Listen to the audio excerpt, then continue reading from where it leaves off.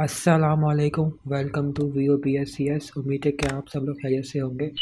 तो आज के इस वीडियो में हम लोग बात करेंगे एम जी टी पाँच सौ एक असाइनमेंट नंबर वन के सोल्यूशन के बारे में। तो इसकी ड्यू डेट जो है वो इक्कीस फेब दो हज़ार बाईस है और इसके जो मार्क्स हैं वो दस है।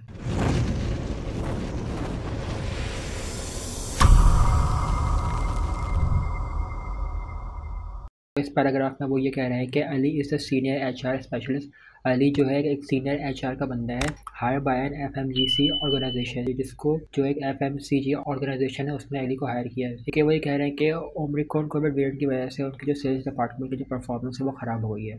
ठीक है तो उसमें से कह रहे हैं कि वो बहुत ढेर सारे एम्प्लॉय जो है जॉब कर रहे हैं तो उन्हें उसमें से चूज़ करना है किसी परफॉर्मेंस अच्छी है और किसी ख़राब है। तो उनको एक टास्क असाइन किया गया है मिस्टर अली को। उन्होंने जज करने के एम्प्लॉय में से कि किसकी परफॉर्मेंस अच्छी है और किसकी ख़राब है। तो उसमें से उनको शॉर्ट लिस्ट करना है। और जब वो शॉर्ट लिस्ट कर लेगा तो उसके बाद जो टॉप परफॉर्मेंस होगा तो उसको वो रिवॉर्ड देंगे। और जो लेस होंगे यानी पुअर होंगे यानी लेस आ रहे होंगे तो उनको ट्रेनिंग सेशन दिया जाएगा। इसमें आपको दो चीज़ें दी गई है, दो क्वेश्चन दिए गए हैं। इसमें पहले ये कह रहे हैं कि आप एज एच आर स्पेशलिस्ट आप कौन से मेथड सजेस्ट करना चाहेंगे कि वो इस सिनेरियो को फिलफिल कर सकें? और दूसरे में यह है कि डिफाइन योर आंसर में सॉलिड रीज़न अब जो मेथड आपने अप्लाई किए होंगे, उसको आपने सॉलिड रीज़न भी देने होंगे।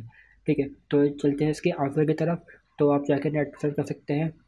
आप जाके सर्च करेंगे नेट पे परफॉर्मेंस अप्रेजल मेथड तो आपको काफ़ी सारी चीज़ें मिल जाएँगी। मैंने भी यही किया तो आप देखिए, आपके पास इस तरीके से कोई लिंक ओपन हो जाएगा। बस पे जाके उसके आंसर चेक कर सकते हैं। इस तरीके से आप गूगल पे जाके पेश करेंगे तो देखें।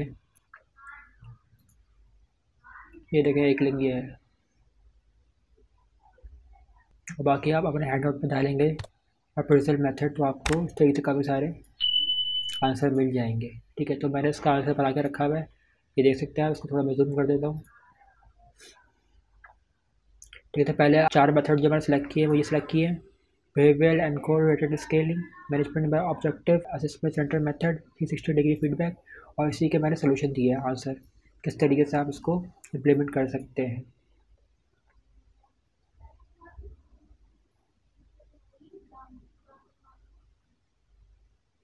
चार मैंने इसलिए सेलेक्ट किया क्योंकि चार मार्क्स का एक क्वेश्चन है, ठीक है?